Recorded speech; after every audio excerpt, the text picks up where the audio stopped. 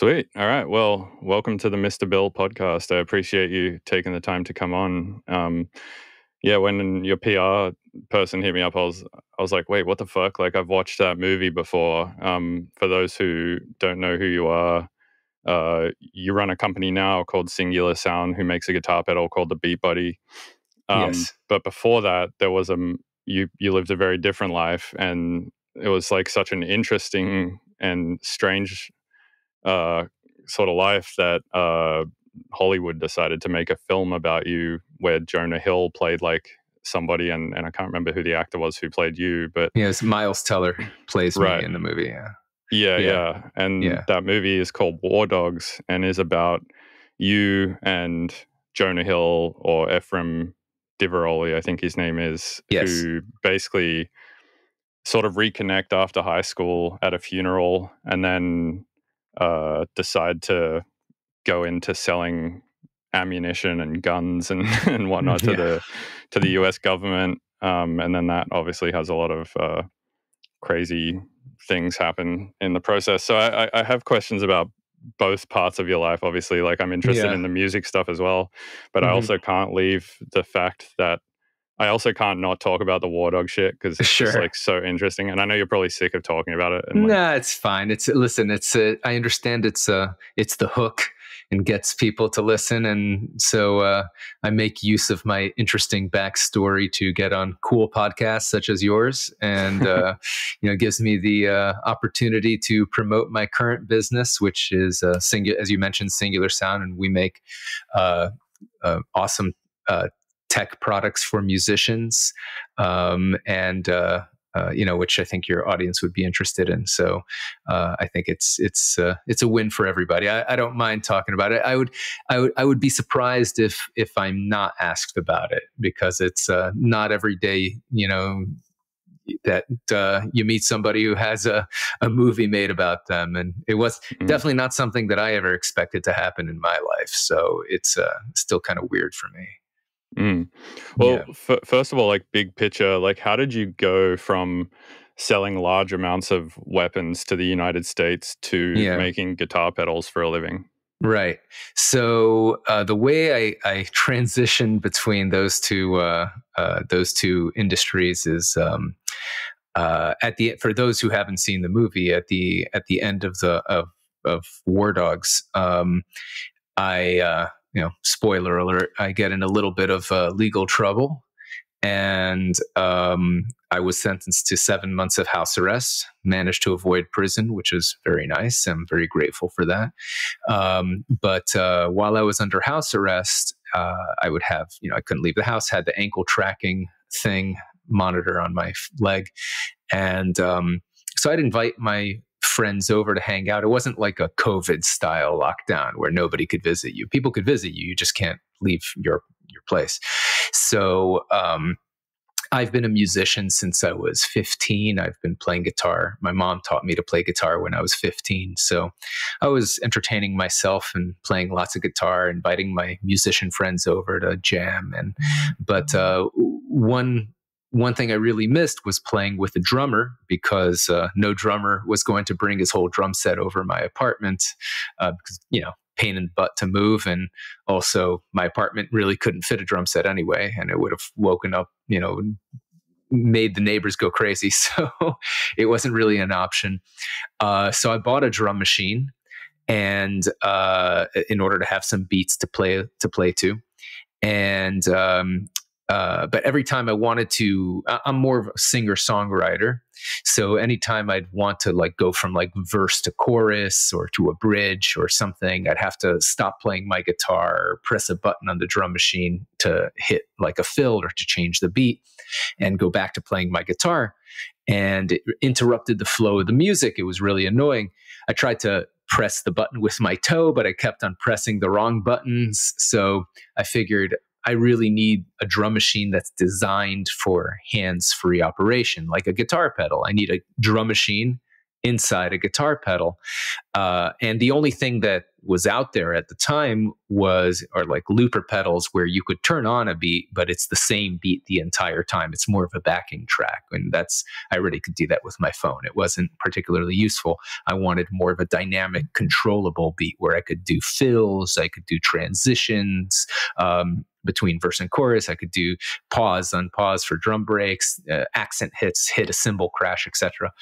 And so I went online to try to find something like this. Couldn't find anything like it.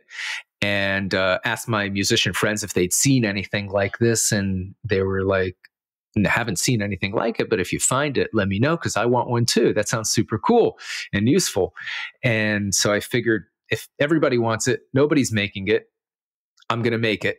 And took me three about three years to get a fully functional prototype uh, and uh, finally brought it to market. Uh, it's called the beat buddy for the people who are watching this on video you see a poster behind my head that says you know it's a picture of the beat buddy right there. Um, and uh, so it's the world's first guitar pedal drum machine hybrid and it allows you to control a beat hands free uh, with your foot while you play your instrument. So a single tap on the pedal will do a drum fill. If you hold it down, it does a transition. You um, you could extend that transition as long as you want by keep keeping the pedal down. When you let go at the end of the measure, it'll change the beat to go from like verse to chorus or back. And it has many uh, capabilities. Uh, you, it comes with 200 beats uh, or like songs we call them because they're not just a single beat it's like verse chorus a bunch of fills transitions um, comes with 200 songs built in in, in uh, 20 different styles 20 different genres you could also put your own beats on it so you can create your own stuff with um, Mac and PC software that we include for free and put those beats on it. You could also create your own uh, custom drum sets. It comes with 10 different drum sets. So you could play any of those beats on any of the drum sets that are in there. So you could do something like uh, play a jazz beat on a heavy metal drum set, or a heavy metal on hand drums, or you know, some interesting mm. uh, mashups of genres. And you could also create your own drum sets. We have um, a um, a forum online uh, on our website, singularsound.com, where people upload the content that they create for the Beat Buddy. So they upload songs as well as and drum sets that you can download for free. We also sell our own professionally made stuff. So there's constantly more content, more beats, more drum sets coming out for it. It also has MIDI capabilities, so you can connect it to your other uh, music gear, uh, to your DAW, to your other effects. Uh, and so it's a, and so you could also create a MIDI controller, uh, connect a MIDI controller to it, and have many other functionality uh, added to it, like uh, halftime, double time, uh, control the beat with an expression pedal to do slow buildups and slowdowns. Um, and so it's a, an extremely capable uh, device uh, built as a uh, as a um, uh, really intended for the one man band uh, musician or just anyone who wants to practice with dynamic drums that they and doesn't have a drummer to play with, which is most people at, at least at some times. So since then, so that the Beat Buddy came out in 2014. excuse me, and um, excuse me, hold on. um, the Beat Buddy came out in 2014, and since then we've come out with uh, uh, several other music related products. Uh, we came out with the with a MIDI controller called the MIDI Maestro because people wanted to uh, control the Beat Buddy and be able to set up a MIDI controller easily. So the MIDI Maestro has a, a smartphone app that you could customize how it works uh, with a smartphone, which makes it very easy. We also uh, came out with the Aeros Loop Studio, which is the world's most advanced uh, looper pedal. Has a a uh, touch screen on it so you could actually see the loops being recorded on it so you know where you are in the loop makes looping a lot easier has six parallel tracks as well as six song parts of each which can have par- uh, six parallel tracks. So it gives you uh, much more flexibility and capability than any other looper out there as well as making it easier to loop because you have that visual feedback of the mm. uh, of the looper. Um, we also came out with the Cably which is a little cable winding device uh, makes your cable management much easier. Um, uh, Ben Jordan, actually, who I think was your last guest on your podcast, he reviewed some of our products. Uh, I'm a big fan of Ben. So, oh, nice. Uh, yeah, yeah Ben's, he, Ben's awesome. Yeah, so he did a he did a great review of our products on his channel. Um, so uh, so yeah, so that's how I I got into uh, the music business, the music uh, products, musician products business. So go, going um, right back to the start of that story. Yeah how did you only get seven months of house arrest for selling mm. three hundred million dollars? Because okay, so for starters, like the reason mm-hmm. you're on mm-hmm. house arrest in the first place is because yeah. you sold uh, hundred million rounds of uh, Chinese ammunition to the U.S. government, and there was an embargo on Chinese ammunition. Correct. That meant you weren't allowed to sell Chinese ammo to the Americans for whatever reason. I don't really right. understand those laws or why they exist. But but okay, right. so imagine imagine that's a pretty like yeah. decently big crime to commit. How did you end up not going to prison for that and only right. end up on seven? And because your partner got four years prison, right? Right. And why yes, did he, he did. get why did he get prison those, and you did not? Those are excellent questions. Um, well, let me back up a little and explain exactly what it was that we did. Um, so we won a, uh, as you mentioned, a $300 million contract. Uh, I was uh, 23 years old at the time, and uh, my partner was actually 19. He's four years younger than me. And uh, we won a $300 million contract to supply uh, munitions to the U.S. Army, and the U.S. Army was giving the, those munitions to the Afghan National Army, who, at the time, were our allies. Uh, they were fighting the Taliban, and um, uh, one of the things it said in our contract was that no Chinese ammunition could be delivered under this contract, directly or indirectly. That's do you, that's do you know why that's a law? Yes, that's what that's where I was going next. Okay, okay. Um, so the reason it said that is because there's an arms embargo against China. It's illegal for U.S. companies and uh, citizens to do military business with the Chinese. And the reason that's the case is because in 1989 there was the Tiananmen Square massacre, where uh, Tiananmen Square is the center of Beijing.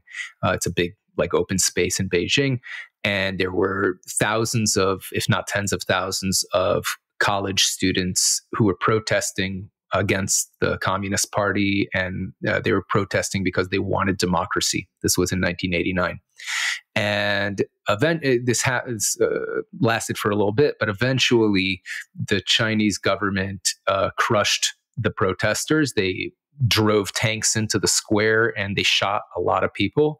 They killed a lot of people.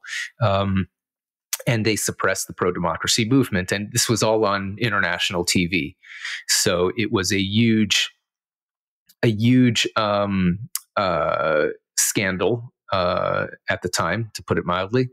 And uh, in order to punish the Chinese government and the army, the Chinese army, uh, for crushing this pro democracy protest, the United States placed China on an arms embargo list. Uh, so that's why it's illegal for U.S. companies and, and citizens to do military business with the Chinese. Um, now, however, and that's why they they also put in that clause in our contract that we couldn't deliver Chinese uh, ammunition under under this contract. However, if you had bought Chinese ammunition or weapons or any military equipment in 1988 while it was still legal and you import it into the United States or into a third country. In 1990, you could still resell that ammunition uh, and or weapons uh, because you bought it legally, and then you could resell it because it's not benefiting the Chinese state, the Chinese army in any way because you had already bought it, right? right the money had exchanged prior exactly. to that law. Yeah, exactly. So the ammunition that we eventually got in trouble for was from Albania. Albania is this small little country near Greece.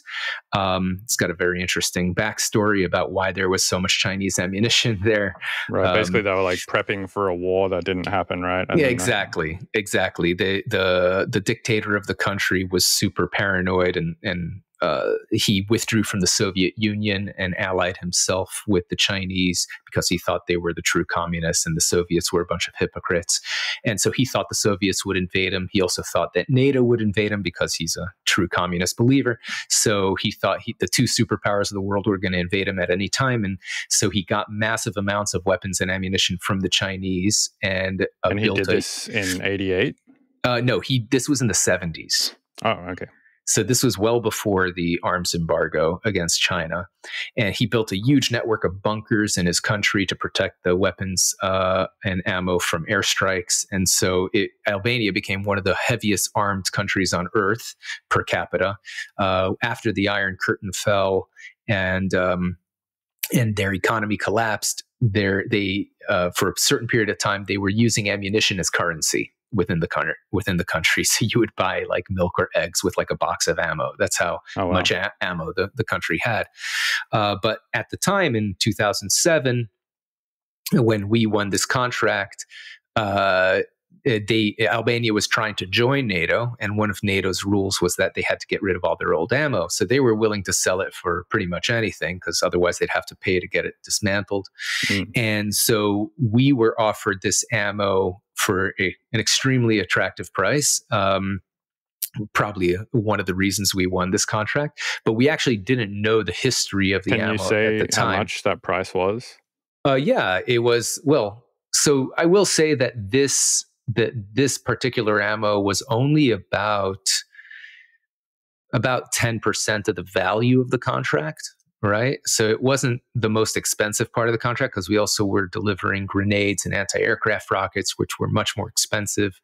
Um, but uh, so we were buying that ammo for about about four cents around, and we were selling it to the government for ten and a half cents around.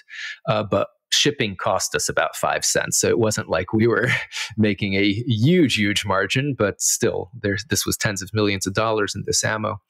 Um, still only about 10, and 50, the yeah. rockets and the grenades were they also Chinese? No. So this was the only Chinese stuff. So everything else was completely uh, legal and and above above board and everything. Um, it was just this particular ammo that was coming from Albania that had originally come from China. Uh, and when we had originally made the agreement to buy this stuff, we didn't actually know the history of this ammo. We didn't know it was originally Chinese, so we agreed to buy it, and we got all the all the um, all the licenses to to to import it and to export it and to transport it uh, because you need to get a lot of licenses for military equipment. You yeah, need to get uh, and then there's a certificate, an export license, and you also need to get uh, flyover permits, what they call them, uh, so that every country that you fly over with your military equipment, you need to get specific permission and a license from that country to fly your stuff over their airspace. That's wild. That's like probably hundreds of licenses, yeah. right? Especially if it you're flying was, over somewhere like Europe or something. Yeah. So it was going from Albania to Afghanistan. I think it was about 15 licenses we needed. There were about 15 countries we flew, flew over approximately. Um, and some of those countries were not very friendly to the United States, so it took us uh, quite a while. Uh, who do you even talk to about getting that license? So uh, what usually what usually you do is the the transportation company will make the first attempt to get the license. So you hire a transportation company, the ones who own or at least are leasing the aircraft, and they will try to get the licenses from from the countries. But if those countries are resistant, then they'll come back to you and say, hey, hey, you know, is there anything you could do on your end to help us move these licenses along? And what we would do is we would contact the um, what they call the defense attaché in the U.S. embassy in that particular country. So every every U.S. embassy has a, uh, an officer from the military called the defense attaché who is responsible to uh, for um, communication between the Pentagon and the State Department. And so our contract was with the U.S. Army, which is part of the Pentagon. Uh, the the embassies are run by the State Department, and they're the ones who have uh, contact with the with the countries that the embassy is based in. So we would contact the embassy, ask to speak to the defense attaché. We'd verify that we had a real contract uh, so that they knew that we were real. And uh, then they would use their contacts with uh, within the embassy uh, and within the country to try to get that uh, license approved. Um, now, usually that would work, but sometimes it wouldn't. and like one example is we uh, we were trying to get. Um, a license from uh, I think it was from Uzbekistan, and uh, Uzbekistan is uh, uh, or maybe it was Turkmenistan. I, it's been a while. Uh, no, it was Turkmenistan. I was I'm confused. I got it confused. It was Turkmenistan. Turkmenistan is a one of the Central Asian countries near Afghanistan that was part of the Soviet Union, and um, they're still very close to Russia. And Russia was, uh, for various reasons, was not happy as happy uh, with us at the time. Uh, they thought they were going to get the contract to supply this, but then they supplied nuclear technology to Iran, and they got put on a blacklist. So the U.S. Army canceled negotiations with them over this contract because they were now placed on a blacklist. So that's why they ended up uh, we ended up getting this contract and we weren't allowed to buy anything from the Russians because they were on a blacklist. And so the Russians were very unhappy about losing this big contract. And so they did everything they could to prevent us from delivering on it because I guess they figured if we failed, the US Army would be forced to go back to them. Um, so they leaned they were leaning on the central asian countries to not give us flyover permits and and uh, turkmenistan wouldn't give us a flyover permit. And then i realized well you know what if we we hired the turkmenistani national airline to do the transportation and then they'll have a financial incentive to give us okay, that permit. fly around it like just don't fly over it? It, you could, but it would significantly increase the costs of the of the of the transport. And you know, as I said, we were paying four cents around, uh, but paying five cents in transportation. Mm. And that's because Afghanistan is a landlocked country surrounded by a bunch of unfriendly countries uh, and unstable countries. So you're making you know, half a cent around basically? Uh, one and a half cents. We were sell, selling it for uh, for ten and a half cents. So and we were making million rounds that's quite a lot of money. it, was more like 200 million rounds. But yeah, uh, oh, yeah it was about it was about 200 million rounds. It was 150 million rounds of the ak-47 ammo and uh, another 50 million about of uh, heavy machine gun ammo and so, yeah, I mean, we were going to make millions of dollars from this, um, but still, it was a small percentage. Three million dollars. Yeah, the, yeah, yeah. There you go. You did the math. Good job.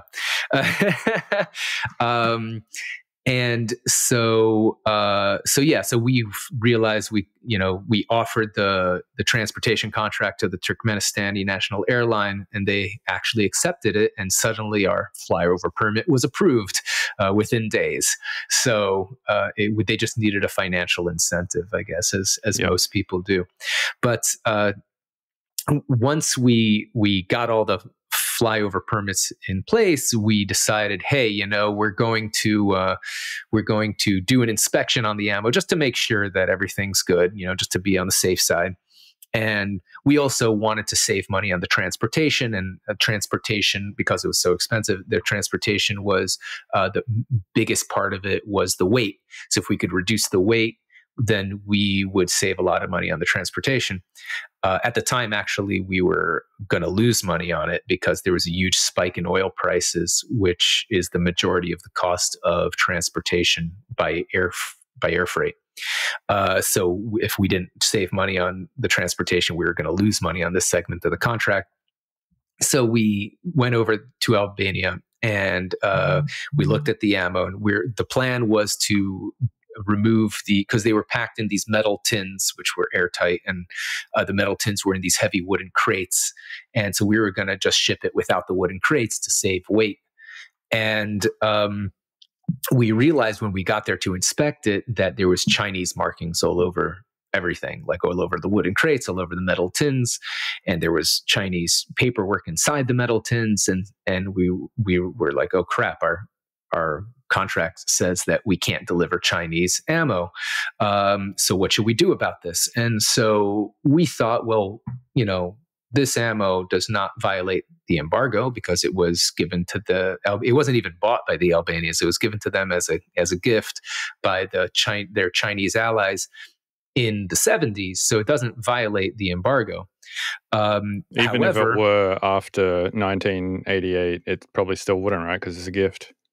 That's debatable. I don't know honestly. Okay. Because uh, there's no money involved, right? Yeah, that is true. That is true. So I don't know what the legal uh, ramifications would have been mm. if there was no money involved after it was it was uh, you know the embargo was put in place. But we did know for sure that this was before the embargo because it had the dates of manufacture okay, on the so boxes. Irrelevant anyway. So exactly. So it's irrelevant anyway. So we realized this didn't violate the embargo, but it did violate the terms of our contract because our contract didn't mention the embargo our just commercial no Chinese ammo. It just said no Chinese ammo. Period. Uh, right. Either directly or indirectly. So um, we thought, well, you know, it violates the terms of our commercial contract, doesn't violate the embargo. So what we could do is we could go to the U.S. Army and say, hey guys, you know, we're ready to deliver. We got all the licenses. We know you need this ammo, you know, desperately, which is what they kept on telling us because uh, it was getting into fighting season in Afghanistan. They only fight uh, they can't fight during the winter because Afghanistan has very tall mountains and a lot of snow.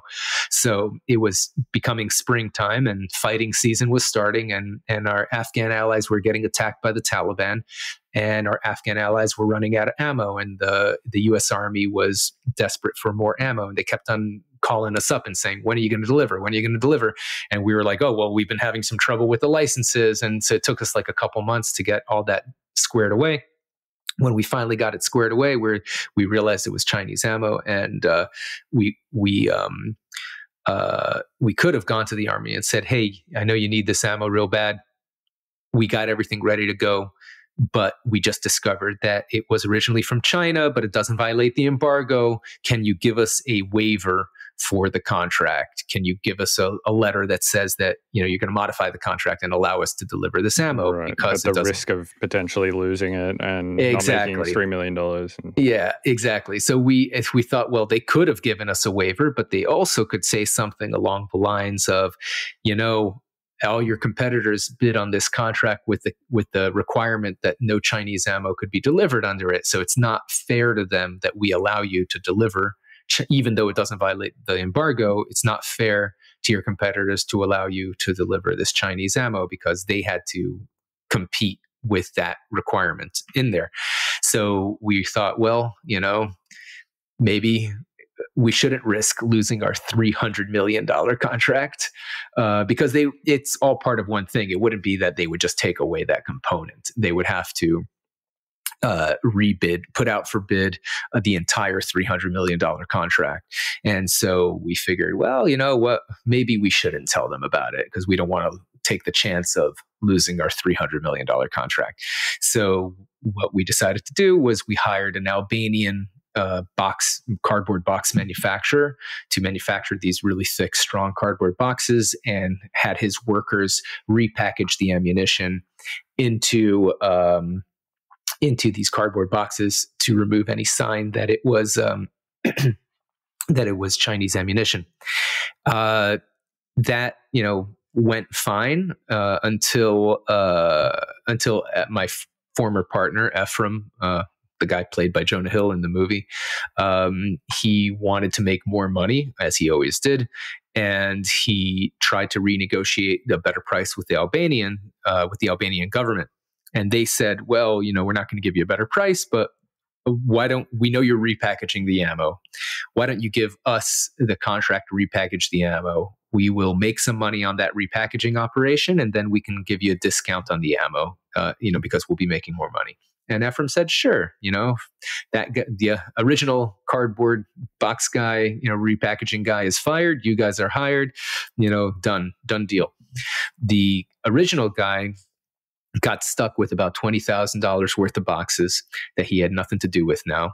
And he asked Efraim to buy buy it from him. And uh, he asked me to ask Efraim, and I told Efraim, "Hey, you know, we need these boxes anyway. Let's let's buy these boxes." And Efraim's like, "Yeah, yeah, yeah, I'll, I'll do it. Don't worry about it." And um, I think there was some bad blood between the the original box guy and the new the new people, so they didn't want to deal with each other.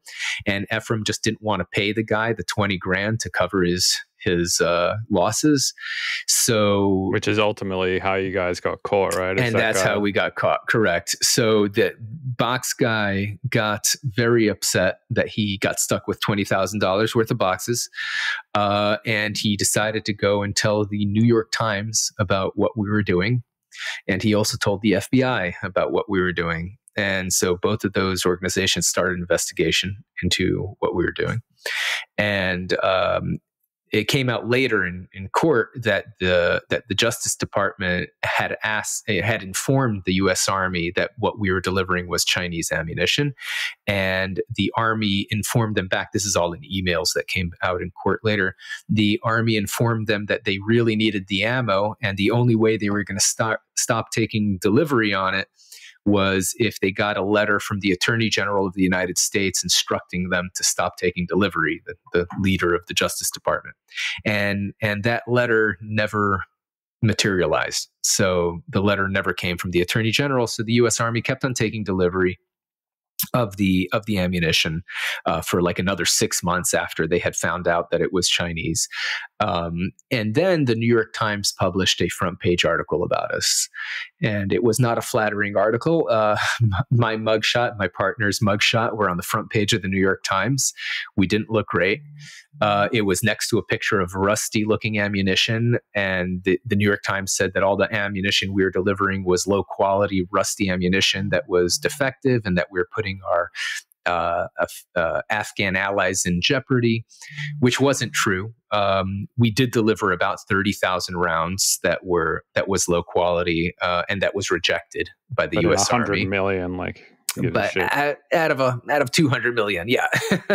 It was a tiny tiny fraction in the bucket and you have higher rates of of uh, defects in from brand new ammunition out of the factory. So it was it, this is a normal thing. I mean the us uh, the government will always inspect the goods they receive and if the quality is not up to par they reject it and they don't pay you for it and we didn't get paid for that those 30,000 rounds and however Afghanistan didn't have any ammunition uh, disposal facilities so what they did is they just put the stuff like to the side uh, uh, by the airport where it was delivered. They just uh, shoved it to the side uh, where it was out of everyone's way, and they just left it there.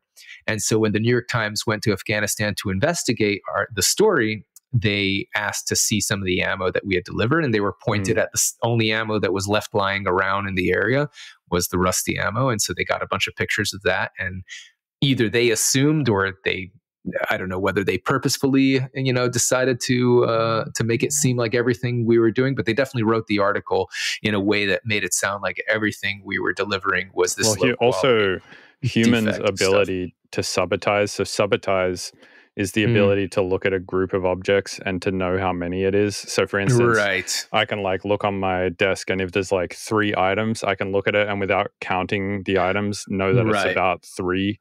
Right. Whereas if it's about like 10 or more, if I look at it quickly without counting it, I have no like you you top out at around five uh, mm-hmm. items for subitization. and actually that number is about the same as crows.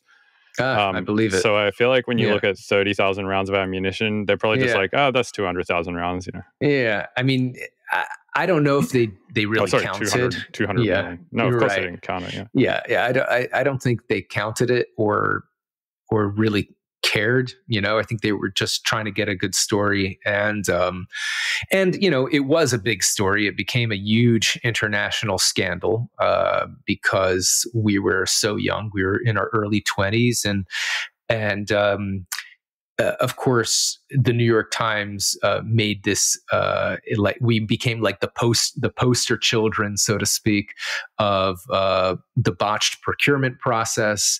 Uh, you know, how could this was the Bush administration at the time? How could the Bush administration trust these two 20 something year olds to do this huge contract? And it's just a level of incompetence uh, displayed by the government, et cetera, et cetera. Even though I mean we were delivering to the Army's satisfaction, they were actually very happy with our performance performance under the contract up until that point. But it became a huge international scandal. Um, there's there's clips on YouTube of uh, of uh, of congressmen uh, with posters of our mugshots in Congress uh, from the New York Times that they were like, how could these guys win such a big contract and etc. And so a few days later, um, the U.S. Army announced that they were going to cancel our contract. That they had no idea that the stuff we were delivering was originally Chinese, even though they did. Um, and uh, the Justice Department uh, decided to charge us. Um, they had six months prior, they had raided. Uh, they had raided our office. I was actually not working uh, with the company anymore because about two months before that, before the raid, right when everything started going smoothly on the contract, Efraim decided he didn't want to pay me uh, what we had agreed to. He wanted to give me a tiny fraction of what yeah, we had agreed to. He's portrayed as a real cunt in the movie.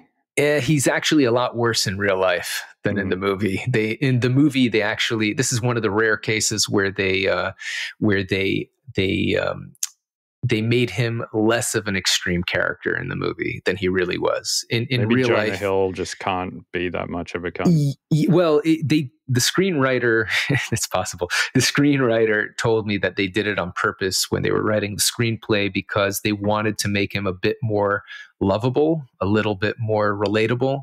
And so if they had written him the way he really was, um, it would have, you know, kind of it, it, would make people relate to the characters less. Mm. So they Hollywood does this kind of thing. They rewrite yeah, stories yeah, in order to make a good movie, and you know they they have to put in a certain amount of action. So they put in you know the whole driving through the triangle of death scene, uh, which did not happen to us. Oh, okay. though it yeah, did I happen. I was going to ask about that yeah, as well.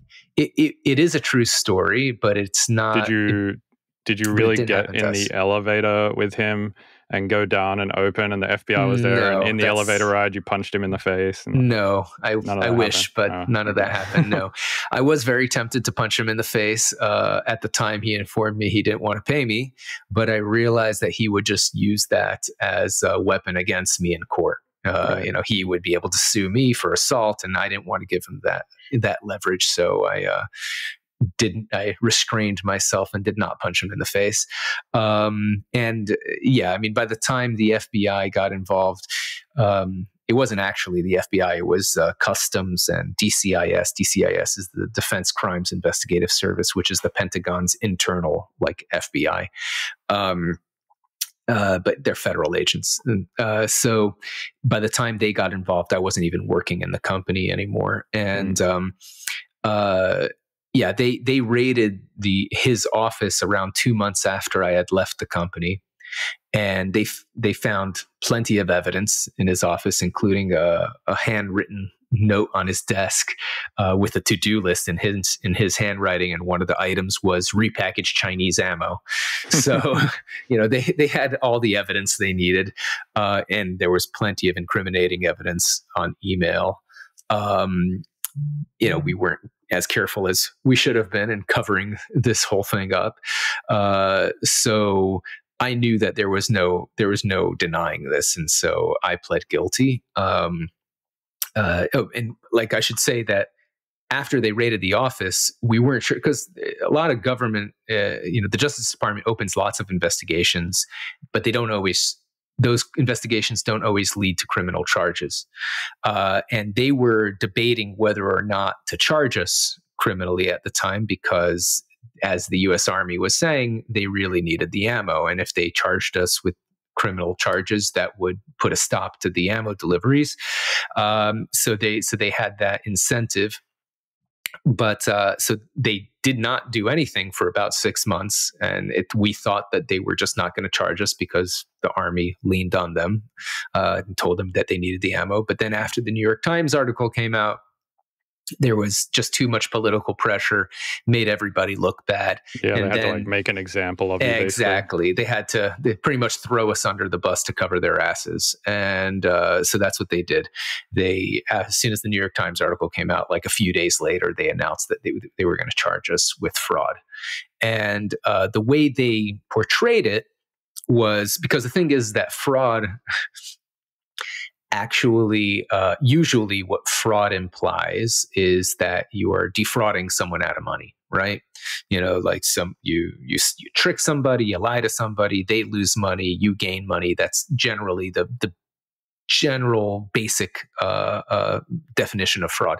In this case, the government didn't lose any money. In fact, they saved a huge amount of money by going with us by because we are by far the lowest price uh, amongst our that's why we won the contract because we are much lower uh, we were actually as they say in the movie we're about 52 or 53 million dollars lower than the nearest competition that's actually true um, we didn't Did find you that actually rock yeah. up to that meeting where they told you that high? uh, so that meeting happened but i wasn't actually in it Oh, okay. Was Efraim Efraim- high? F, uh, you know, I'm not really sure. It wouldn't surprise me because he was doing a lot of drugs at the time. Uh, wouldn't surprise me if he was on cocaine either, because he was just doing that on, on a regular basis at that time. But um, at the time, uh, he felt because he was super young. I mean, he was uh, by the time at that time we had. Uh, yeah, he was 21 at that time. So um, uh, he felt like we needed someone to to uh, uh, make the government feel a little bit more secure. So we he took uh, Ralph, who is the in the movie he's the laundry laundromat owner, who's our investor. Yeah, Uh, and he that's- ended up uh, putting yeah. a wire. Did he actually end up putting a wiretap no, that and- that part is not true. He Okay. didn't he didn't do that at all. Uh, uh, so. Uh, Ralph in real life is not a Jewish laundry sto- store owner, a laundromat owner. He is actually a Mormon machine gun factory owner. Oh. So a little bit more relevant, and he's based in Utah. So he's an Wow. older gen. He's an older gentleman, and um, he was our investor for a very long time. Um, but um, Interesting that they decided to make him a Jewish laundry store owner instead of just a Mormon yeah, machine gun factory owner. Yeah, I think they wanted to because there was already kind of that Jewish theme because both Efraim and I are Jewish, and we grew up uh, actually amongst the Orthodox Jewish community. So, uh, you know, very religiously Jewish families. Um, so they, I guess, they wanted to keep like a Jewish theme, and uh, they always simplify the stories in general in Hollywood. Mm. Um, so uh, they remove characters and combine characters and and things of that nature, and and um, so yeah, so Efraim took Ralph to that meeting uh, just because he was older and he felt like it would make the government feel more secure that it wasn't just like a couple of kids who were running this contract that there was some experience Yeah, yeah, in in the management. But um, uh, so anyway, um, I'm kind of getting getting a bit uh, down a few a few sidetracks, but um, I guess we'll we'll go back to why to the whole sentencing thing, how that happened. yeah, yeah. Why so you- when- this yeah, is all to yeah. answer why you only yes, seven exactly. months house arrest. Yes, yes, exactly. It's a it's a comp- complicated story. No, so fine, um so what happened when they charged us was the way they charged us was they said you guys uh you know every aircraft load of of this chinese originally chinese ammunition uh, every aircraft load that you delivered, you included a document, right? A uh, what they call a certificate of conformance, uh, where where you you um, have listed what kind of ammunition is on is on the plane, the quantity of ammunition, uh, and the year of manufacture and the place of origin. Right, that was that was the term on it, place of origin. And you guys put out place of origin Albania, but you knew that the original place of origin was China. And not only did you know, you hired someone to cover it up. So this uh, is an act of fraud. You're lying to the government, right? You knowingly lying to the government. And you had 71 aircraft loads of this ammunition delivered. So that's 71 counts of fraud. And each count can get you up to five years in prison. So that's up to 355 years that you can get in prison if you fight us and you plead innocent, you go to court and you lose. And you get the maximum from the judge, right? Uh, however, if you plead guilty, uh, as prosecutors, they have the leeway to combine 71 counts into one. They can count it as instead of 71, it's one. And so you get maximum five years. And uh, and because you plead guilty in the plea agreement, we'll say we'll commit to to telling the judge that that you are you know really sorry about everything you did and that you you know you owned up to your mistakes and that therefore you should get the minimum uh, sentence rather than the maximum sentence. And maximum will only be five years at that point. But because the judge generally listens to the prosecutor, maybe you'll get one year, maybe just probation. Who knows? You know, up to the judge. So that was the choice I was faced with. Uh, we were both faced with. Um, you know, either fight him in court and maybe spend the rest of your life in prison. And even if you win, you know, it's still going to cost you a few hundred thousand dollars to hire a good lawyer to even have a fighting chance.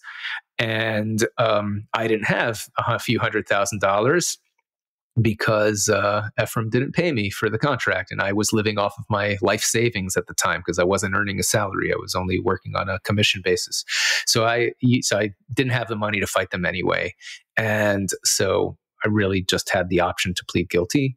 Um, Efraim at first fought them for like a couple years he was fighting them but then eventually realized he was going to lose and so he ended up pleading guilty as well.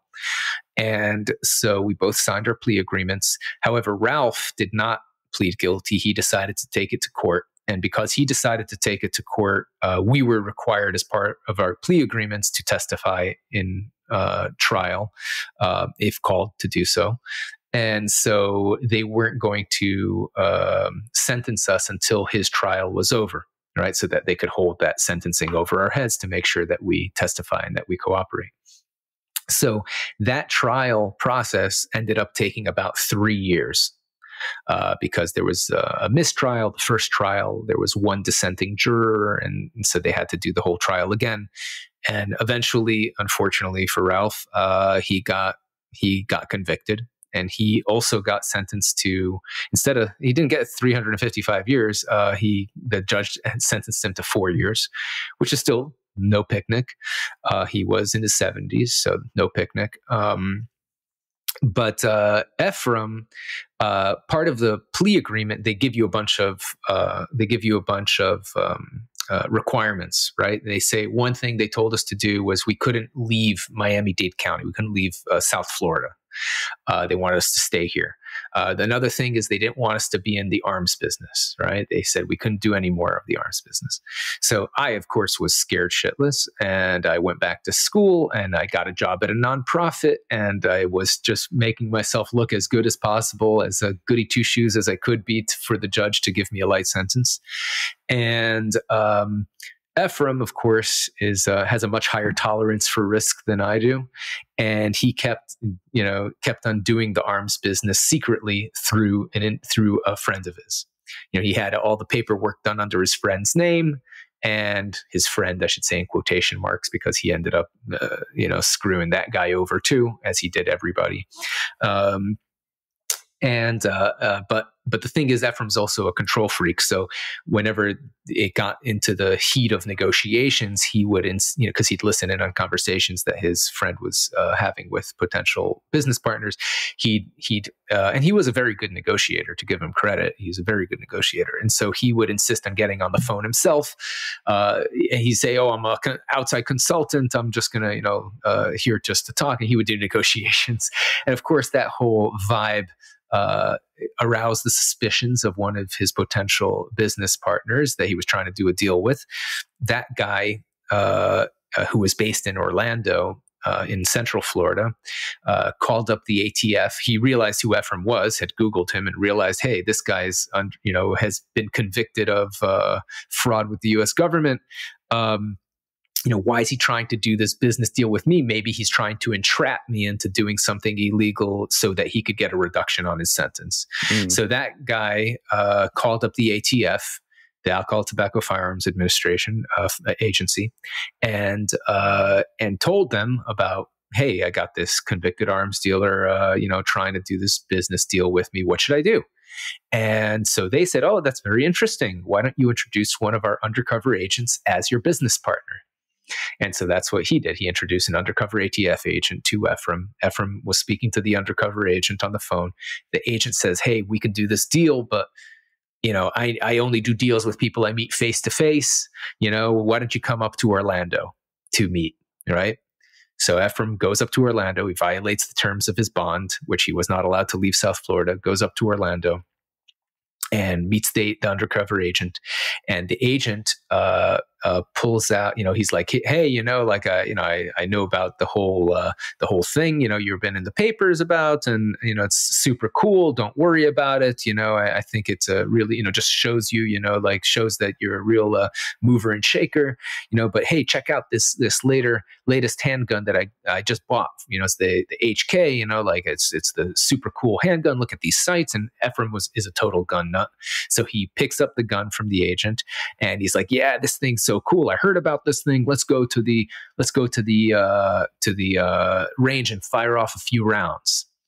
And and he's like, "Because what can I say? You know, once a gun runner, always always a gun runner. Am I right?" And uh, this is what he tells the undercover agent. And then the undercover agent whips out a pair of handcuffs, slaps them on Efraim, and says, "You're uh, a felon in possession of a firearm. You're under arrest because as a because he already pled guilty. Uh, he was officially a felon, and it's illegal for felons to be in possession Oh, of a so he firearm. had it, yeah, he had him right there, and then on like a he had a him right there. charge completely. Exactly. He entrapped him Right. into into this uh, into this gun Is charge. that legal? Is that entrapment stuff legal? It is. It's uh, people think that oh, if I ask you if you're a cop, you have to tell me. That's Yeah, not yeah. true at all. That's just Hollywood. Uh, cops do not undercover cops do not have to tell you they're a cop, and there is lots of leeway for law enforcement to entrap you. Uh, there there are some laws against it, but it's it's a lot more loose than people think. You know, you can't just get off because the government tricked you. It happens all the time. In fact, uh, one thing people don't know is that law enforcement is legally allowed to lie to you, right? So they can tell, uh, like when they, this is a very common technique when they're doing interrogations, uh, that you know if, if there's more than one person involved, they'll tell you, you know, your buddy already admitted to the crime and said you were involved. He told us everything. He told us that you, in fact, he said that you were the ringleader and that it's most of the response. He's trying to pin everything on you. So if you don't come clean here, you know, you're going to get most of the blame and you're going to go down the hardest. So you you, sh- you should just you know tell us what you know and and you know then we'll we'll go to bat for you and, and make sure that you get off as easy as possible. And they could that could be a complete lie, uh, but that's how they trick a lot of people into into confessing. So yeah the, the the law enforcement has tremendous leeway to entrap people and to lie to people and to trick people. It's it's uh it's not like it is in the movies. Um so anyway efraim got gets arrested for this for this uh gun charge. Uh he could have gotten up to 10 years in prison for that but um in addition to that uh, because he committed a second he committed a second crime before he was sentenced he invalidated his plea agreement so that's one of the things in, as part of the plea agreement is you are not allowed to commit another crime before your sentence because how, how are the prosecutors going to tell the judge that you're a reformed you know, yeah. uh, person and good boy from now on if you're if you're committing more crimes so so the prosecutors did not go to bat for him or request the judge go easy on him. Uh, he could have gotten uh, up to t- 15 years total, 10 for the gun for the gun charge and and uh, five for the fraud charge. Uh, but it's he, wild that the just picking up a gun on yeah, probation would Yeah. get him more years yeah, supply than than the original thing. Yeah, yeah, that's Yeah. kind of crazy. it is pretty crazy. Yeah, the the laws are not necessarily uh, Like one one of those other. things seems like kind of minor to me, and the other thing Yeah. seems like extremely major to me. Yeah. No, it's obvious I- which is which. Yeah, uh, that that is true. Um, that's that's how this that's how the system is run. I mean, there's a lot of things that you would think uh, uh, would be a, a lot worse than others. I mean, there's there's people who you know get caught up in the three strikes laws where they, you know, get caught shoplifting and they spend like decades in prison because it's their third strike, even though all they did was steal a candy bar because they were starving Mm. and and you know and then someone else um, beats his wife to an inch of death and gets off in a year you know i mean it's it's it's insane some of the laws are very very not fair Maybe Um, AI could potentially help with a bit of this. I think. there's like AI there's Yeah. there's like services that people have made now for AI that will like cancel subscriptions for you and like uh call up credit yeah, card companies to get like charges disputed and stuff and like all of these companies have uh, like barricades in the way to stop you from Mhm. doing that. They're like, "Oh, do you want to like Yeah. talk to this other person? Do you want to do this? Would you like to like sign up for True. this second deal instead of Yeah. canceling your other deal?" But AI is Mm. just ruthless. It doesn't care about anything other than completing the task. So it'll go through all of these phone call trees and it will go through like any web page for as many hours as it takes to get the task just finished that you tell it to do. And Yeah. I think in a way, yeah, perhaps AI could be an interesting judge at the end of the day because it removes all emotion from it and just goes like, here's That a scale true. of shit that is bad. You get this much for doing X bad thing, There which is in your case may have worked against your favor. Y- Yeah, I mean, there is a, there's a lot, there's a very strong argument to be made for AI judges. Um, because one thing that is a well-known thing in the in the uh, in the um, the justice community, I guess, the justice field, I would say, is that uh, judges, and this is statistically proven, judges give harsher sentences before lunch and eat more lenient sentences after lunch. Yeah, because the more hungry they are, the less uh, the less empathetic they are. So you are you will get off a lot easier uh, if you if you catch the judge on a good day at a good time, uh, and that just really drives the point home of how of how much our human emotion affects our supposedly rational decision making. Um, now, I'm not saying this is a 100% thing. I'm not saying that judges will let you off scot free after lunch and give you life in prison before Right, lunch, right. but there is a statistical significant difference of people who get sentenced before and after the judge has eaten. So did you Uh, get sentenced before or after lunch? you know, I'm not. I don't. I honestly don't remember the time of the day. Uh, it unfortunately that they don't give the defendant the option of choosing his sentencing time. They just the judge makes that decision. Uh, I don't know. Uh, I don't remember at the time what the time of the day it was, but uh, I was very lucky because uh, the judge just went with the prosecutor's recommendation of of only house of seven months of house arrest. That was what the prosecutors recommended to the judge, and the judge says, "Uh, if the prosecutors recommend that, I can agree with that, and that that was the end of that. Um, the uh, on in Efraim's case, uh, the the prosecutors were trying to get him a lot more, and of course his his he hired very expensive attorneys. Um, and they were trying to get him a lot less. The judge kind of came down in the middle and gave him four years uh, for both charges. So yeah, so and he got out. I think after three and a half years, he got like maybe a half a year off for good behavior or something. He he went to a minimum security prison, federal prisons, which is nothing like a state prison, uh, where all the nightmare stories you hear about are. I'm not saying it's a picnic. I would don't wish that on anyone. Um, uh, you know, I would certainly be be uh, uh, be very distraught if I had to spend any amount of time in any prison. But Dude, um, jail. So yeah. I, I, I haven't been to prison, but I've been to jail. yeah, And I unfortunately went in on Mhm. uh, Thursday at like 3 Uh, a.m. yeah, and I probably would have only spent like an hour there because it was like a crazy, like a, just a misdemeanor thing. Right, Um, but because I went in on Thursday at right. 3 a.m., they don't process cases on Friday, Saturday, or Ah, Sunday, and then Monday was Jesus Labor Day. So I ended up spending four days in jail, Wow, like in the full, harsh. in the jumpsuit and everything, and like hanging out with a bunch of people who Yeah, had done all sorts of crimes. And yeah. yeah, it was it was not fun. It was definitely like four of the worst days of my life for sure. I I I was spend, like yeah. so yeah. fucking scared in there, man. Like it was Yeah. brutal.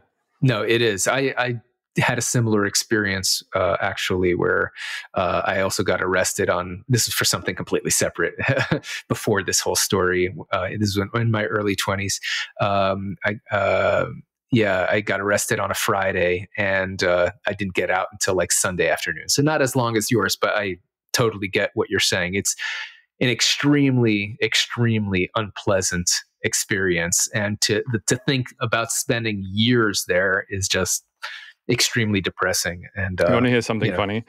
Um, earlier this year, uh, so every th- I'm an immigrant from Australia who lives in Mhm. America. So every 3 Mhm. years, I need to renew my visa, and to to renew my visa, I have to leave the country and go to Mhm. an embassy in a different country, which I think they Mhm. make you do. So if you don't get your visa, you're already out. Ah, They don't have see. to find you and throw you out. right, makes Um, sense.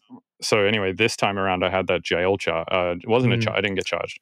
I Uh-huh. had this like jail arrest. I had an arrest on my record. right, you had an arrest, yeah. And um, I went up to the interview, and the USCIS officer who was interviewing me goes like, "Oh, I see, there's a new arrest thing on on your Mhm. record." He's like, "What do you do for a living?" And I go, "Music." And he's like, "Oh, are you a rapper?" And I was like, Ah. "No, dude." Jesus Christ. Yeah, I was like, "That's fucked. That's fucked up to say." Yeah, for real. That's pretty classic. Uh, pretty classic. Yeah, no, there's there's there's definitely a um, plenty plenty of uh, of uh, that thought thought process in the system. Um, Yeah. So you sound But, you sound yeah. like a pretty entrepreneurial guy. Like Mhm. uh, at first in the movie, you were a massage therapist, Yes. and then you were like, uh, "I don't like doing this. I'm just going to buy a bunch of bed sheets and sell it to um, like Mhm. old people homes or hospices." Right. And then you got into this gun thing, yeah. and now you're like, oh, "I spent seven months at home, and I realized Yeah. there was a gap in the market for guitar pedals, so now I make Yeah. those." Yeah. Has that always been the case, even before you were a massage therapist and before the bed sheet thing? Like, how are you just Yeah. kind of naturally entrepreneurial like that?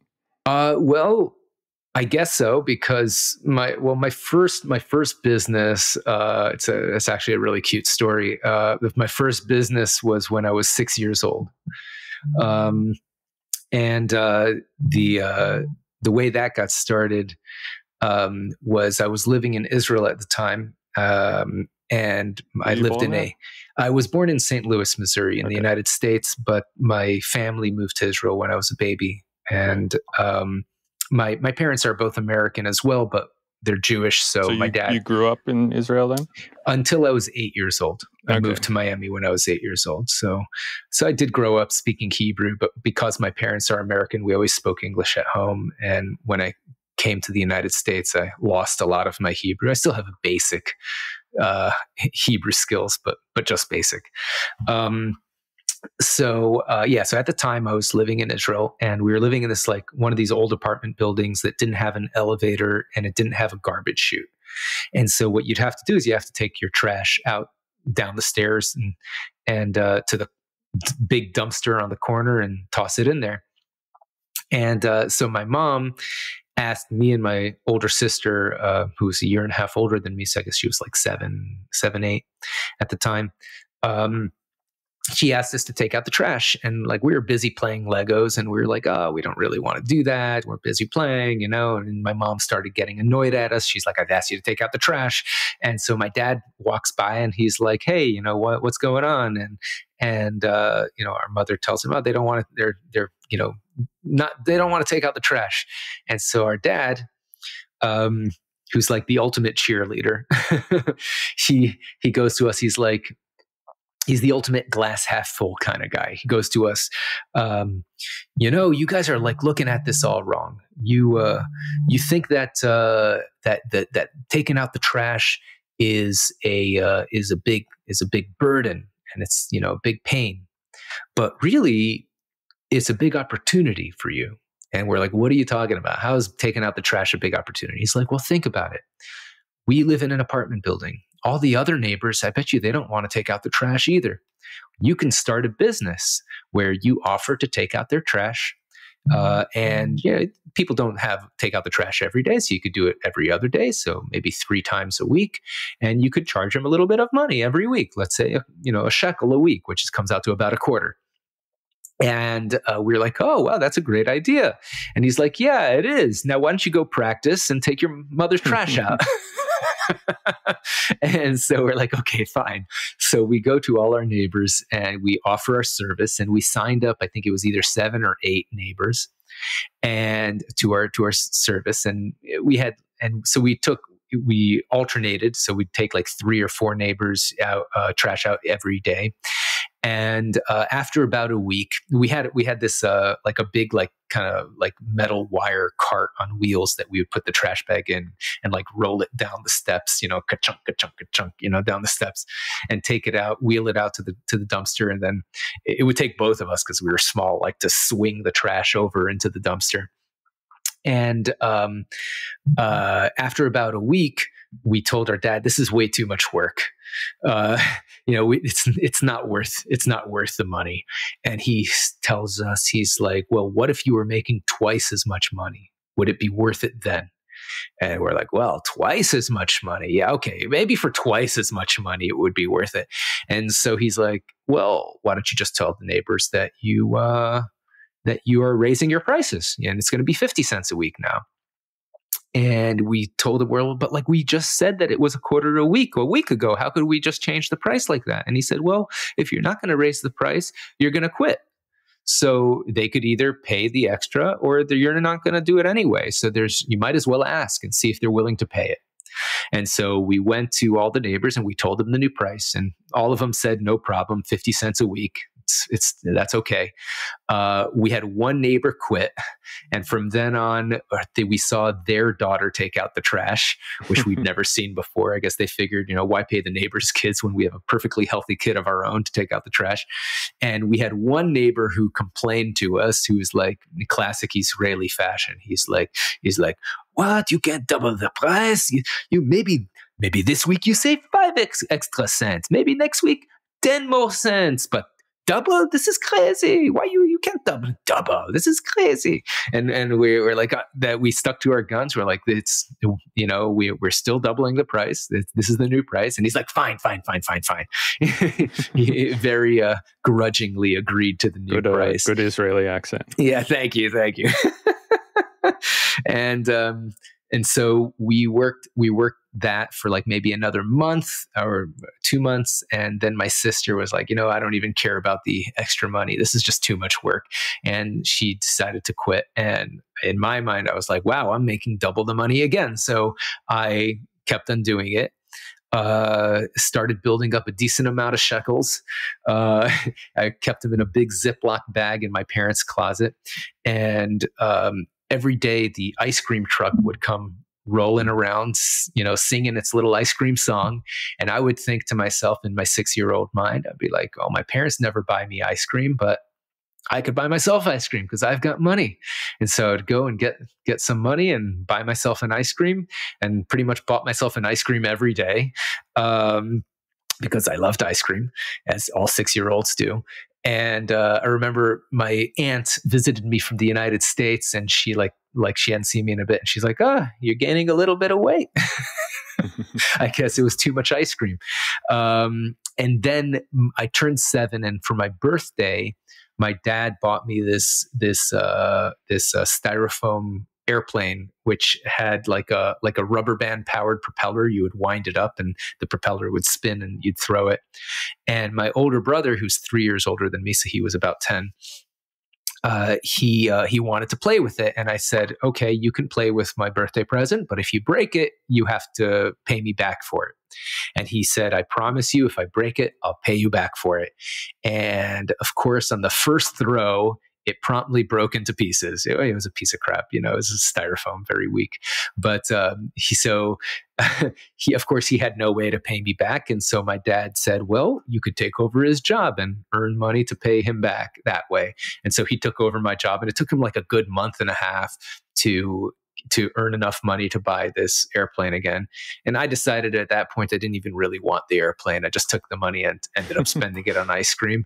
But I had a decent amount of money saved up and I was already used to not doing the job anymore because my brother had been doing it for like the last month and a half. And so I decided not to continue uh, the work. And that's how that business ended. So that was my first entrepreneurial venture.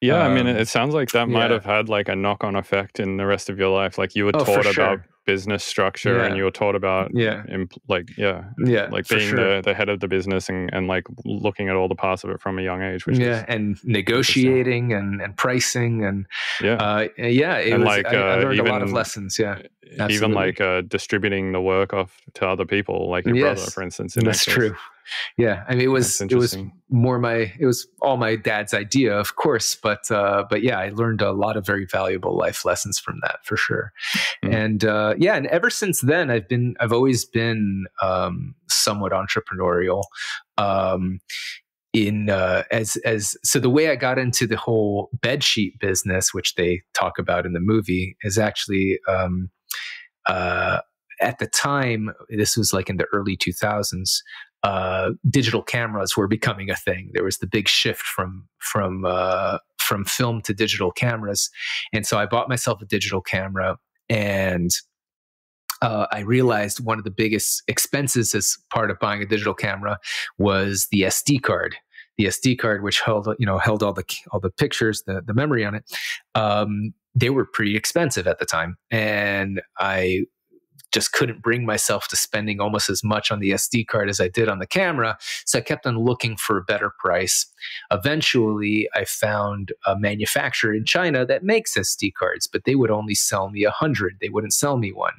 So I figured, well, the price is really good. I could probably resell the rest of them on eBay and make some money. So I bought a hundred of them. I resold them pretty quickly on eBay, and then started buying more of them. And then it became like a regular business. I started doing pretty well with it. Uh, told one of my friends uh, you know, about the business, and he was like, "Oh, you know, I'm actually uh, recently started a uh, a uh, like a nursing home equipment distribution business where because his dad owned a nursing home and uh, and his dad would buy all this various equipment like bed sheets towels and, uh, patient gowns uh, various medical equipment uh, from these distributors. And so he figured yeah he'd put his son into business doing this since he's already buying this stuff. So his so my friend his son uh, got into that business of of supplying nursing homes and not just his dad but other nursing homes as well. Um, and he told me, oh, you know, I buy all this stuff from distributors who I know buy it overseas. If you can get me a better, you know, I see you already have experience finding manufacturers overseas from the SD cards. If you can get me a better price uh, than these distributors, I'll be I'll be happy to buy from you. So I started looking for manufacturers of bed sheets and towels and medical equipment, and uh, eventually found some pretty competitive manufacturers and started selling to him, started selling to some other um, uh, suppliers, and uh, that's how I got into the whole bedsheet business. So, Unlike, so this wasn't a complete yeah. failure like they portray no, it in the movie. No, not at all. So in the, in movie, the movie, they were like, yeah. you bought a bunch of bed sheets, yeah. and then the first time you tried to offload them, everyone was like, we don't care. No, yeah. So in the movie, I, in the, they changed it because in the in the movie they wanted to show that I was really down on my luck and having a really hard time, so that there would be a greater dramatic arc you know, of like where yeah. you start and where you end up. It makes makes a better story when yeah, you're to like, be honest, it kind of does. You know, not gonna lie. Yeah, yeah. In real life, I was pretty comfortable. I wasn't like rich or anything like that. I wasn't also in the in the movie amount. they they depicted you as a licensed massage therapist who would basically yes. just massage rich guys who would try to get you to jerk right. them off. so that actually has some truth to it. right, yeah, there's like one scene in the movie yeah. where you like yeah. turn around or something to get something, yeah. and the dude, the dude like shifts his towel off, and he's like, "Oh, sorry, it fell."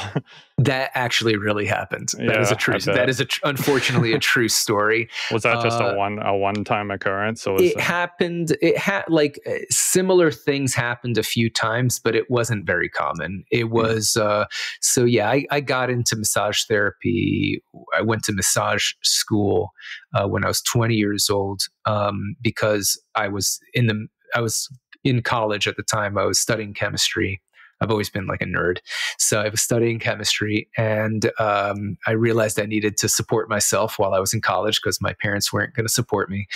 And all my friends were working like minimum wage jobs. Uh, and that did not appeal to me in the least. Hmm. And I realized that uh, because I had gotten some massage therapy um, sessions because I had been in a car crash, I had hurt my neck. And so I'd gotten some massage therapy sessions and I realized, you know, massage therapists make between 50 and $100 an hour, uh, depending on where they work which is a lot more than minimum wage. I could do one hour of massage and make more money than a, my minimum wage friends were making in an entire day. So uh, I took a little, I took, and massage school to, you need to be licensed to be a massage therapist. Uh, so massage school to, to do the education for the licensing was only six months.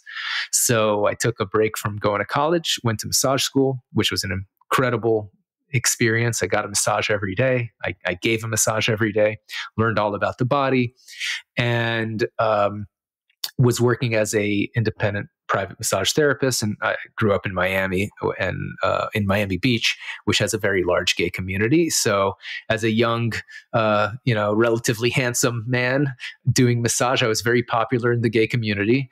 Um, they tipped very well. Uh, 99% of them were super respectful and I never got any issues with them. Um, but occasionally, once in a blue moon, you'd have someone who uh, thought they were particularly handsome and could turn the straight boy gay, and so that they would, you know, they would hit, they would hit on me. But I will say this for the gay community that the second I said no, that was the end of it. Like they were never like uh, it, it's not like unfortunately a lot of guys with women are very aggressive and they don't take no for an answer like the good thing about the gay community is that no means no and it means it immediately because i mean it's like men you know like uh, you know it's there's there isn't the power imbalance as there is a, a, amongst like you know heterosexual dynamics. So uh, the vast majority of them were super super respectful and i never had any problems. But yeah that whole towel thing did actually happen to me. But it was a it was a very rare occurrence. Mm. Cool. So I guess like to to wrap up, what um what's sort of like on your agenda now and like what's next next for singular sound and stuff? So a few things actually. Uh, well, for Singular Sound, we're work we're coming we're working on a few new products. Um, uh, there's nothing I can really talk about right now because um, you know we like to keep things uh, under wraps until they're publicly announced. Um, I will say any, you know, any musicians out there, check out our website, singularsound.com. We've, uh, you know, the BeatBuddy is an amazing tool that I think every musician should own. Uh, it's it's good for everyone from uh, from professional uh, musicians who just want something as a songwriting tool or something to jam with, uh, to people who uh, singer songwriters and and uh, and one man band type of musicians who can't get a drummer to play with. That's very so. I think issue. a lot of the people listening yeah. to this podcast are more like electronic music producers, right? Who, who produce like dubstep or glitch or so, stuff like that. Um, right? Is it useful right. for those kind of people as well? So it's good. The BeatBuddy is more of a live performance uh, mm. thing. It's uh, it's good for for like songwriting, like as just to have something to work with, you know, uh, because you already have all these ready-made beats right out of the box that you could mm. manipulate mm. and play it with. Seems like it would be really um, useful if you're a guitar player for like yeah. prototyping stuff quickly. Yes, it is. It is. Uh, we have had uh, um, people who are more in the electric. We've had actually drummers who use it because they use it as like a second drum thing that they play along to. Mm. So hmm. they'll like they'll oh, make oh, like, like, a metronome the, almost. Yeah, like a like a supercharged metronome that actually sounds good. So they'll like mm. be, they'll set the the drum set the drum machine to uh, like an electronic drum style, and they'll play on their acoustic drums. So it's a cool mix. Um, uh, but yeah, but the BeatBuddy does have MIDI, so it could sync with your DAW, so you are able to do control your DAW and your various recording software with it, uh, as well as record it f- through your computer. Um, the Aeros uh, looper is something that a lot of uh, musicians, uh, electronic musicians as well, have used because it's a very um, it's a very uh, uh, easy to use and robust looping pedal. And so you can more using it for live performance or more in the production process. So people use the Aeros as a songwriting tool as well, but it is intended as a live performance uh, uh, tool. Uh, that is what we designed it, and we particularly designed it to be used hands free, so someone could play their instrument, so they could do a lot of operations with their foot. But there are plenty of musicians, keyboardists who use it with their hands as well, and there's lots of videos out there of uh, keyboardists and electronic music producers using the Aeros. Um, people who have eh, who use a lot of cables would be interested in our Cably product. It's a yeah, pretty much just like a that. yeah, just a little plastic wheel that you could wrap your cables around. Keeps it nice and neat. Allows you to put your cables mm. away really quick and keeps them from tangling. Very convenient. Yeah, um, looks cool. Yeah, and um, so uh, but as far as uh, as far as new products, I can't really uh, can't really talk about it, but it but there but are, are they are they more geared also towards performance and live stuff, or are they geared towards production? Would you say? So we are we are currently working on some plugins Oh, uh, cool. which will be yeah much more on the production side. So anyone who wants to keep up with what we're doing can follow us on social media, Singular Sound, uh, on Instagram, YouTube, etc., all the social media platforms. Um, but uh, I actually recently started uh, a new business. Which uh, which is uh, our first? I started this with my brother. Um, our first non music product Hmm. which it's uh, called InstaFloss. And it's the world's first machine that will floss all of your teeth for you in 10 seconds. Oh wow. It, uses, it uses 12 water jets. You just pass it over your teeth and uh, very easily uh, floss all of your teeth, uh, get an easy and effective floss. You go to Yeah. instafloss.com to check yeah, it I'm out. looking at it now. This looks Yeah. like quite the contraption. I've never Yeah. used a water jet flosser before. yeah. Yeah. I use this thing by uh it's made by Listerine. It's like this long stick with a flossing Uh-huh. on the end of it that you can like Yeah. hold. And Yeah. that thing has been awesome. I love that thing. Yeah. So people usually like water picks because they tend to be less painful. Uh, people have, especially people who don't floss very often, um, using string can be can cause their gums to bleed and, and it could be painful. Is it Um, weird that I kind of like the pain of the flosser? It's like it like scratches an itch that I can't get to with my finger, you know. Yeah, it's it is. I would say it's it's unusual because most people hate flossing, uh, but you are very lucky that you are one of the few people who doesn't hate flossing. yeah, I really Um, enjoy it actually. I also yeah. really enjoy cleaning my ears out with a cotton bud. Oh, I enjoy that too. That's that's that that's something. Especially you like actually- if you if yeah. you do it like with the syringe full of hot water. I love it. Oh yeah. So you're actually supposedly not supposed to put a cotton swab inside your ear because you could I've heard damage this your because it can, it eardrums. can Yeah. also compress the wax in. You- Yes, yeah, I think you're, sup- exactly. you're supposed to plunge with Yeah. water and flush Yeah. everything. I don't Yeah, know. that's that is the official way that you're supposed to do it. Yes, I agree. But yeah, I still do cotton swabs just because it kind of feels good. Mm. Um, also like but- you got to. I feel like if I don't dry the inside of my ear, I just feel weird. yeah, I hear Like- you. Exactly. Same Yeah. when I take a shower, I always Yeah, yeah. use it to dry the inside of my ear. Yeah, I'm the same. So yeah, so we are. So we just uh, launched InstaFloss. We've uh, been working on it actually for five years, and and we just delivered the first units to uh, to customers uh, literally a few weeks ago. So Mm. uh, anyone who wants to check that out, instafloss.com, kind of like Instagram but flossing. InstaFloss. where do you get these? Um, Like this is yeah. another crazy business idea. Like what made you think Yeah. of? It? I know we're trying to wrap up, but like what, what Yeah. made you think of this, and why did you start to? Why did you decide to make this? So um, one thing so i, I started uh, singular sound with with one of my brothers i'm um, i'm one of nine children by the I way read that on your Wikipedia Yeah, page. Yeah, that's yeah. wild. yeah uh, orthodox jewish families they tend to have big families so um I, I started in, uh, Singular Sound with one of my brothers, and one of the th- and we've been building the business since 2013. Same brother that Um, broke your plane. No, that's my older brother. This is one of my younger brothers. Nice. Actually, so out of my uh, out of uh, the nine siblings, five of us are working in my company. So it's Mm. a Oh, real wow. family business. Yeah, That's awesome. yeah. But uh, the one that broke my plane, he's not one of them. He actually um, he's a, a software developer who uh, works for Verizon. Um, well, Smart. Probably yeah makes a lot of money. he he does well. He does well. Um, so um, anyway, uh, uh, one of the things I was talking about with with the brother I started Singular Sound with was that we always would have this conversation where. Um, so okay, so I'll tell you I'll tell you the story of how this kind of thing started. Um, every year we go to NAMM, right? Which Oh, uh, I for those NAMM, who yeah. yeah yeah for like those who don't know through a fire hose. yeah, yeah, exactly. For real, exactly. For people who don't know, it's I think the world's biggest musical instruments exhibition. Yeah, Uh, basically for yeah. anyone who hasn't been, if you Yeah. like going into like say Micro Center or like a music store just to like look at the shit that they have, yeah, you love. NAMM. It's like every it's like the biggest music store ever.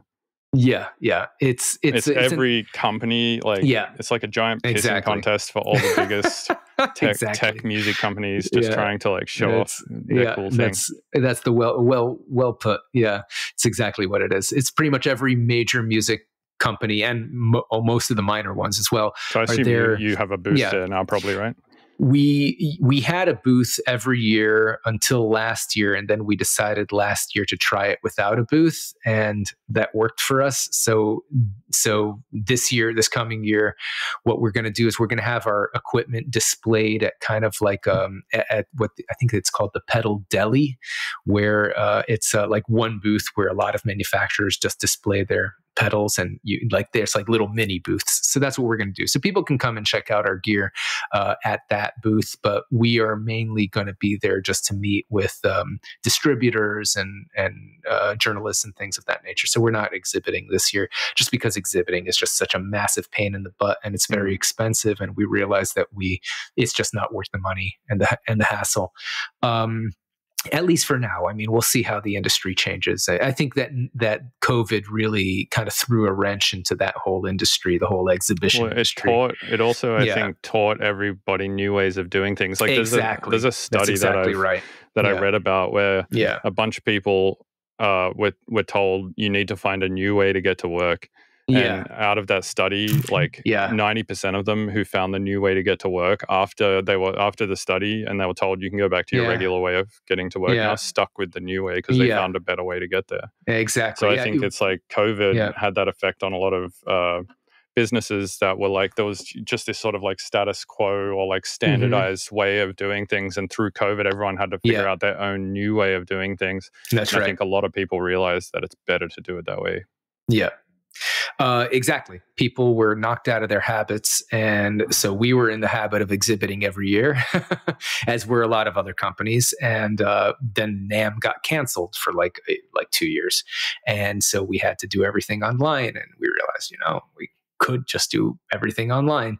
And uh, so we decided not to exhibit. And it's still, you know, went well, and uh, so that's kind of what we're doing now. Still probably we'll beneficial see. of you yeah. to have exhibited there a few times. Yeah, oh, for sure. Especially in the beginning. I mean, when you're just starting a company and you really need as much uh, connections and exposure as you can get, that it's still very much worth it. But we already pretty much have all our relationships established in the industry with our, our distribution partners, and and uh, we have connections with all the journalists and who write about this stuff. And so it, it's diminishing rates of return uh, for us uh, as far as that goes. But you know, I'm not saying we'll never exhibit again. Uh, we'll see how the how the industry moves, and and we'll we'll see if it's worth it. Um, so, what does NAMM have to do with this water yeah, flosser? Right. Good. Good question. Good question. I was getting there. We were going down another sidetrack. Um, so, NAMM every year has guest speakers. And uh, one of one year, it had uh, Steve Wozniak, who's the co-founder of Apple, uh, was the guest speaker. And one of the things he said, and this was to a very big, packed, crowded room, he said during his speech, he's like, you know, in the beginning, in Apple's early days, we really focus on the artist, on the musician, um, because you know, and, and, and, we really focused on on making software that works for them.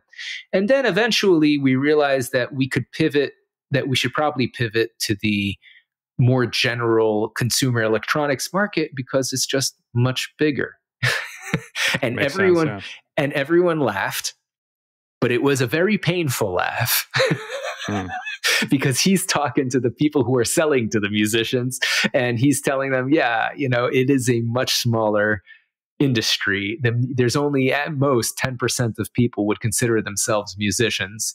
Um, and, yeah, you're, you're, really and, limiting the amount of people you can sell exactly to. exactly and uh, everybody has teeth Exactly. and in fact, our corporate name for the InstaFloss it's uh, is EHT Inc. and it stands for Everybody Has Teeth. Yeah, nice. and so ever since that speech by Steve Wozniak, uh, my brother and I were like, we have to come up with a product that the general market can use, not just musicians. Mm. And so we are always kind of on the lookout for something like that. And then one day we were hanging out in my in my house and we were eating some mango and of course, mango has these fibers that get stuck in your teeth. Mm. And so we went to my bathroom to floss to get rid of the fibers. And I was like, I told my brother, you know, we're like both flossing in my bathroom mirror. And I tell my brother, I'm like, you know, flossing is such a pain in the butt. I really wish we could have a machine that could just floss our teeth for us. And he's like, uh, if we could create something like that, that would sell like crazy. And so we are like, okay, well, let's see if we could come up with something. And we just started brainstorming and we came up with a whole bunch of wacky stuff that would have never worked. And eventually, we, after quite a while of brainstorming, we came up with the uh, design for the InstaFloss, which what was the like, website. craziest idea that you came up with that would have uh, yeah, it, it, um, AI controlled robotic hands that use string to floss your teeth for you. You know, I mean, like maybe it, it could have worked eventually, but definitely not these Would have been really expensive yeah. to produce. Extremely, would have been extremely expensive. Yeah. Uh, I mean, yeah. you couldn't travel with it or anything. It, would have been a disaster. Uh, we probably never would have built it. And even if, you know, to, to a functional degree, and even if we did build it, it probably would have been too expensive for anyone to buy. So did you create really like attempted. research groups to like get on the one that you have now? Like, how did you? Yeah. so we, process? Yeah. So we te- well we uh, it took us three years, but eventually we built a working prototype of the design that we have now, and then we tested it on a bunch of people and tried it and see. And we also we tested on someone who'd never flossed never flosses in general, someone who flosses regularly with string, someone who's uh, who uses a water pick. So we did all these tests on different people who are in different profiles of flossing, so to speak, and uh, and it's it's very effective. It's actually more effective than string um, because the water flossers, if used properly, can be more effective than string because the water gets under the gum line and it washes mm. out the bacteria that's under the gum line, which string does not do. There right. are certain cases where you need string that water floss won't work. Like there, if something is stuck really hard in mm. between your teeth, sometimes water flossing can't get it out.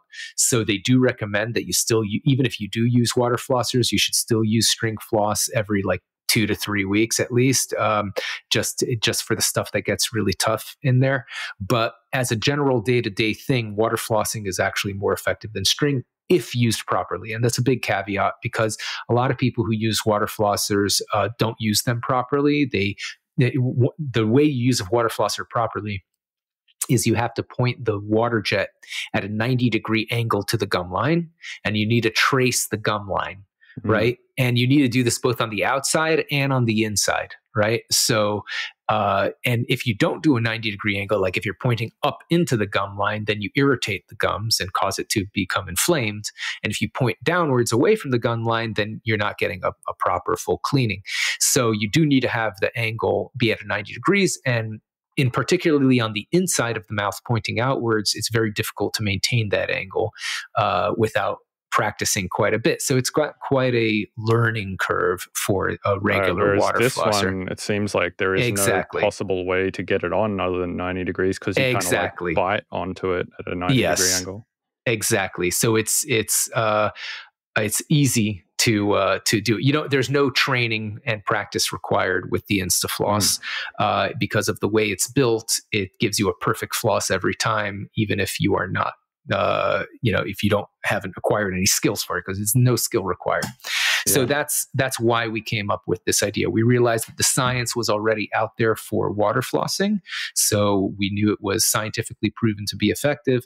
And the pain point of regular water flossers is the skill and time that it takes to do properly. And this and InstaFloss solves both of those things. It, mm. it gives you a perfect floss without having to learn the skill of implementing it. And because it's using 12 water jets instead of one, it does all four quadrants of your of your mouth, the top, bottom, inside, and outside, uh, all at once. So you could do the entire floss in 10 seconds instead of like one to two minutes, which it would take with a water flosser.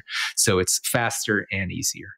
Yeah, genius. Yeah, sounds like you're very yeah. good at finding gaps in the market and yeah, fulfilling yeah, yeah. those gaps and in a very like uh, kind of realistic way. Yeah, I, I pretty much my process is I pragmatic think, way, I guess is the word. Yeah, yeah, yeah. I the, the my process is I think well, you know, if I encounter something that annoys me in life, mm. I think is there anything out there that can fix this?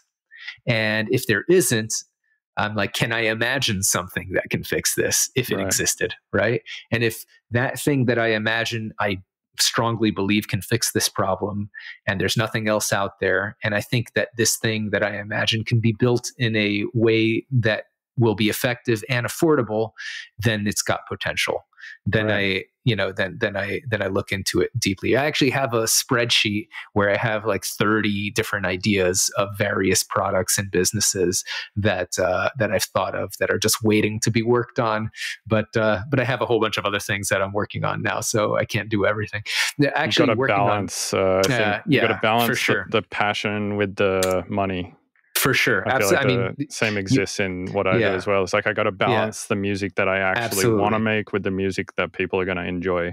Exactly. I mean, we only have we only have certain. Well, we all have 24 hours in a day, mm. and you have to choose what's the best use of your time, and so you can't do everything. Just physically impossible. Um, I am actually. Uh, um, oh, so for people who want to check out InstaFloss, go to instafloss.com. You could buy one if you like. They're ready to ship right now. Um, uh, but I am also currently working on a brand new business, another one uh, that is completely un- uh, different. Uh, so one thing that I've had is um, uh, f- since the movie came out, a lot of people have asked me about tips and you know to coach them on how to start a similar business, uh, to do government contracting, to sell to the government. And of course, I haven't. I've been legally barred from doing business with the government since uh, 2011. Uh, that actually that bar that that limitation recently expired, so I am legally allowed to do it again. And even with that limitation, does that extend to helping people who are helping the government? It does does not. So okay. it's yeah, you can help people, you can teach people, but you just can't be part of the business. But even that has expired now. So people have always been asking me to uh, to teach them how to do this um, and and I usually have this like uh, copy paste answer I send people. People contact me on Instagram or other social media platforms, and and they're like, "Please, you know, teach me. I'm desperate, just like you were in the movie. Uh, hard down on my luck, and I, you know, I'll work for free. I'll give you a cut, etc., etc." And I am pretty busy. I've got lots of businesses I'm working on. I really have no interest in in uh, in becoming somebody's mentor um, you know in this in this kind of case. So uh, but then i one day i had someone who contacted me and um, unlike everyone else they said you know me and my partner me and my best friend just want you just want you to know that about three four years ago we saw war dogs and we were so inspired that we decided to try to do it ourselves. And it was very difficult and it took us like a good year to finally get the business going. But nowadays, we have a successful government contracting business and we specialize in laundry services of all things you know they tried to because the government buys everything not just weapons and ammunition right. they the us the federal government is the biggest single uh, uh, um, customer in the world. I mean, right. it's uh, has more money to spend than pretty much everyone else. Right. I have um, a lot of um, agendas and a lot of exactly that they want to uh, be doing. They're they're doing a lot of things, and uh, and I think the uh, the Defense Department budgets alone is like eight hundred billion dollars, right. and that's I mean, more they, than the, they even need instruments, right? For like the bands. they do. The that's army. right. They do. They they literally buy everything. They buy everything from clothing to food to musical instruments to weapons to nuclear bombs and jet fighters. I mean, they buy everything, um, and they have a process, a procurement process, where they list what they want on their website, sam.gov. You can go check it out if you're curious. Sam.gov gov. Um, and you can search for things that they're buying. Now, the, the problem with dealing with the federal government is that being that since they're a government, they're a big pain in the butt to deal with. And they have a lot of rules and a lot of paperwork, and it's very dry and boring and complicated. And it takes, you know, some a lot of effort to uh, to figure out the system and until you can actually sell to them. So um, so I had the idea. These guys that who were built a successful government contracting business, they're currently running this business. Uh, and uh, you know, I have this awesome story. So we decided to partner up and create War Dogs Academy. Mm, interesting. And it's going to be a complete end to end course of teaching people how to do government contracting. Uh, and um, not only that, but we're going to have a, an option for people to join a community. Like we're going to have a, a, forum where people can make can network and make connections with each other. We also have investors who are interested in investing into the um, into people's contracts that they win. So one big thing, one big limitation for doing government contracting is that the government only pays you 30 days after you deliver but your your supplier usually wants to be paid in advance right. which means you need the money to float that contract. You need to be able to buy the, the goods pay the transportation company and then wait until the government pays you. And a lot of people starting out don't have that money. So we have connections with investors who are very happy to fund these contracts because a government contract is actually one of the safest contracts that right, an investor yeah, you, can you have. know that they're um, almost 100% likely to pay it. Exactly. You know, and that's the biggest risk is whether or not you get paid. And the government is never going to run out of money because they literally print the money. Right. so they're as long as they are contracted to pay and you deliver on the contract as specified in the contract, uh, you're going to get paid. So we have investors who are very interested in uh, investing into government contracts, and that's going to be part of the um, part of the uh, advantage and, and uh, service that we're going to provide in War Dogs Academy. Um, for our students is the ability is not only are you going to learn how to do it but you're going to have access to investment to actually perform on the contracts once you win them and and as well as connections to various other uh, professional services that you will need like attorneys and accountants and things mm. of that for someone who's never been in business before it's going to be a huge leg up uh, to get into this business, as long as they're willing to put in the quite significant amounts of work that will be required in right. order to make it a successful thing. Uh, I think it's going to be a very big opportunity for a lot of people. Um, so we are currently building this. It's not ready yet. Um, you can go to wardogsacademy.com and put your email in there to sign up for a mailing list. Uh, so we will be announcing it. You could also follow me on Instagram at at David Packouz. That's P A C K O U Z. Uh, David Packouz uh, um, on Instagram. I would say I'm most active on Instagram. Well, I also have an X or Twitter account also, but I don't really uh, use it that much. Um, but I will be announcing on all my social media platforms when War Dogs Academy is ready. Uh, so that's going to be that's going to be the next uh, business that I launch. Mm, yeah, amazing. Well, hey, man, I appreciate you coming on. Um, apologies, I was a little late. And That's okay. Yeah, it was really good chatting with you. Super interesting. Likewise. Thank uh, you. Yeah, um, definitely keep me updated with any of the new things you're doing. It sounds like you're onto a lot of interesting stuff. Thank you. I do. I do have quite a few other things that I'm working on that I just uh, can't talk about publicly uh, because you know they're various inventions that may or may not have patent protection yet. But uh, but there is there is a whole bunch of other stuff coming down the pipeline. Now, when it comes out is a whole other question because mm. you uh, there's you uh, there's always delays in everything. It's one thing I've learned is that no matter what schedule you think you have, it's always going to be later than what you think.